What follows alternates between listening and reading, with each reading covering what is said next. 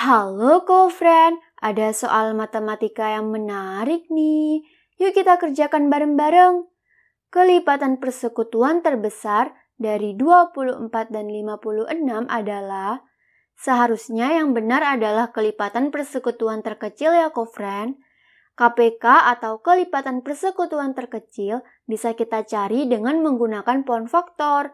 Sebelumnya, kita perlu mengetahui apa itu bilangan prima terlebih dahulu. Bilangan prima adalah bilangan lebih dari satu yang hanya memiliki dua faktor, yaitu satu dan dirinya sendiri. Bilangan prima di antaranya 2, 3, 5, 7, 11, 13, dan seterusnya. Kemudian kita cari pohon faktornya. Pertama pohon faktor 24. Kita bagi dengan bilangan prima terkecil terlebih dahulu, yaitu 2. 24 dibagi 2, 12. 12 dibagi 2, 6. 6 dibagi 2, 3. Karena hasilnya bilangan prima, maka tidak perlu dibagi lagi. Kemudian pohon faktor 56. 56 dibagi 2, 28. 28 dibagi 2, 14. 14 dibagi 2, 7. Lalu kita perhatikan bilangan prima pada pohon faktor, sehingga faktorisasi prima 24 yaitu 2 kali 2 kali 2 kali 3 atau 2 pangkat 3 kali 3.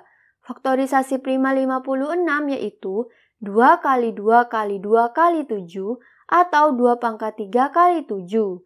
Cara mencari KPK yaitu kalikan semua faktor primanya dan apabila ada faktor prima yang sama, dipilih pangkat yang terbesar. Sehingga KPK-nya yaitu 2 pangkat 3 kali 3 kali 7 sama dengan 2 kali 2 kali 2 kali 3 kali 7.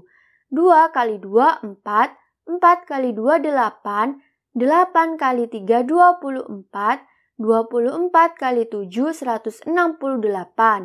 Jadi KPK dari 24 dan 56 yaitu 168.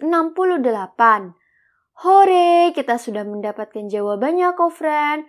Mudah bukan? Tetap semangat belajar ya. Sampai jumpa di soal selanjutnya.